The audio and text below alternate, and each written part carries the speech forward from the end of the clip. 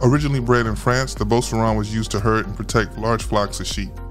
Uh, the breed is so good at its job, it has been known to move sheep upwards of 50 miles a day and not be tired. Although they are quite different in appearance, the Beauceron and the long-haired sheepdog, the Briard, uh, they stem from similar ancestral stock. Uh, both of them share the trait of double dew claws on their hind legs. Uh, both breeds were used to herd sheep and cattle. Uh, like the Beauceron, the Briard is found throughout northern France.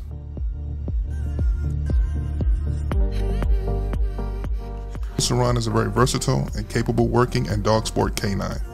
The breed stands at 61 to 70 centimeters, that's 24 to 27 and a half inches in height, and weighs between 30 and 45 kilograms or 66 to 100 pounds.